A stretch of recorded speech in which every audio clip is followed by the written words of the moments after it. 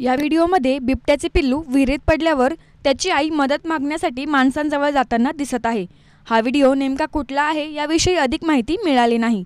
पण हा व्हिडिओ पाहून तुम्ही सुद्धा भावुक व्हाल. सध्या हा व्हिडिओ सोशल मीडियावर चांगलाच व्हायरल होत आहे. हा बिबट्या माणसांजवळ जाऊन त्यांचा हात धरण्याचा प्रयत्न करत आहे.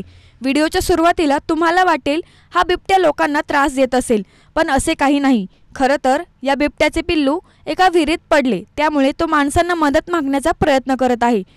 या व्हायरल व्हिडिओमध्ये तुम्हाला दिसेल बिबट्या माणसांजवळ जातो त्यांचे हात पकडतो पण कोणीही त्याला मदत करीत नाही. पण जेव्हा लोकांच्या लक्षात येते की हा बिबट्या मदत मागत आहे तेव्हा एक गाडी बिबट्याच्या मागे जाते आणि नंतर लक्षात येते की त्याचे पिल्लू विहिरीत पडले आहे. पुढे व्हिडिओत तुम्हाला दिसेल की पोलीस आणि काही माणसं बिबट्याचे पिल्लू बाहेर काढण्याचा प्रयत्न करत आहे. बिबट्या मात्र हा सर्व प्रकार दुरून बघत आहे.